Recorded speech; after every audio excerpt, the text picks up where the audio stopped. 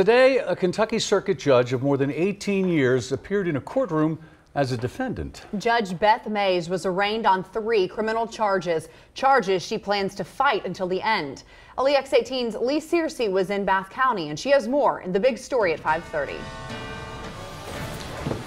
With her head held high, Chief Circuit Judge Beth Maze appeared in this Bath County courtroom with her three attorneys, one of them a former judge.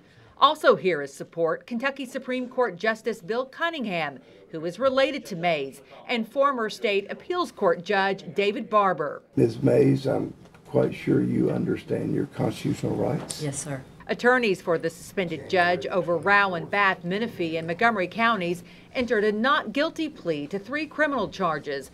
A grand jury indicted Maze on two counts of forgery second and one count of tampering with public records. She's accused of forging the names of others, including the Bath County attorney and the Commonwealth's attorney, on court orders without their knowledge.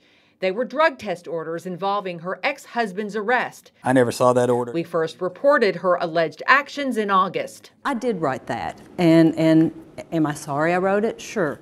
Um, that night, um, it was a very emotional night. My children were upset. I was upset. Maze, who is suspended with pay, also faces five ethics charges from the Judicial Conduct Commission for alleged conduct related to her ex husband's arrest.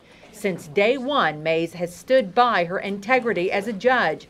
Her attorney believes she would not be here if she had the chance to testify before the grand jury. She's an outstanding judge by every account I've heard. I've heard nobody make any derogatory comments about her performance as judge. And we're hoping that we can come through this process and she can resume her position as a judge in this circuit. Covering the news in Bath County, Lee Searcy, LEX 18 News. Maze is due back in court in February.